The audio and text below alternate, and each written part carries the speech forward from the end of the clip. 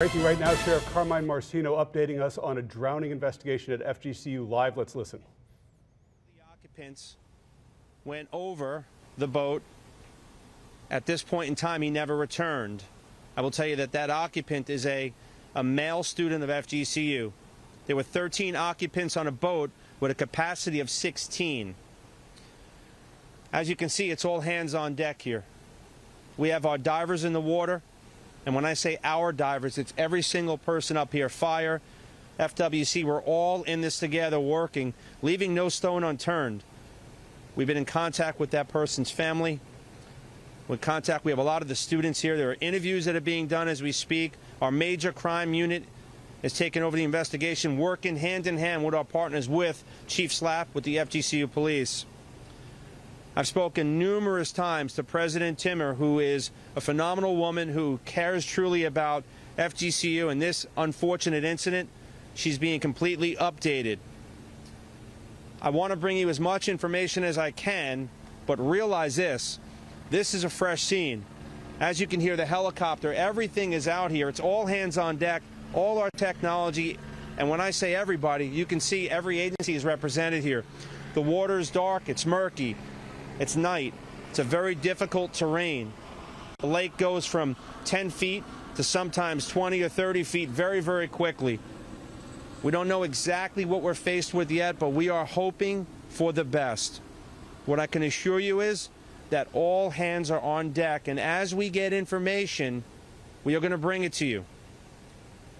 Again, I'll, I'll leave this over for now to Chief Slap to say few words.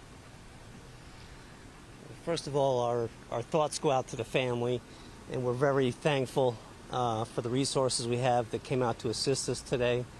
Um, I did want to remind our FGCU community that we will have counseling services available. Uh, we have our ears line that's currently open. Uh, we have our uh, care and concern team that was more than welcome to help.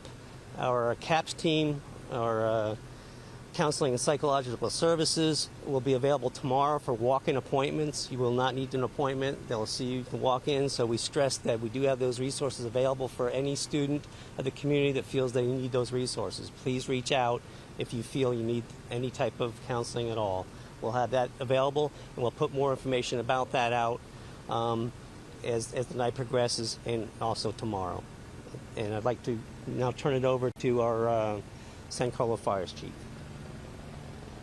Uh, good evening, Dave Cambry with San Carlos Park Fire Department.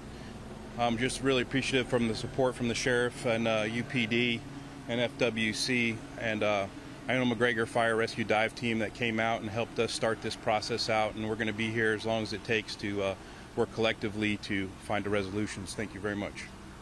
Thank you, Chief. Folks, realize we are faced with a lot of difficult things right now. Obviously, the terrain, again, once again, this lake is very, very treacherous. It goes from sometimes 10 feet to 20, 30 feet. This was a shared lake, Lake Como, between Miromar Lakes. The boat was a private vessel out of Miromar Lakes. Uh, unfortunately, the person we're looking for is an FGCU student. So Okay, you're listening live. Lee County Sheriff Carmine Marceno talking about a student who went overboard on a boat in a lake on campus. This is the North Lake Village on FGCU's campus. We'll stay on top of it and we'll go out live and check in with Justin Case, who is monitoring the investigation. But you could hear that helicopter Yeah. overhead, and we've seen those dive teams in the water. Yep, and for several hours too, searching at this point. We'll get back to that.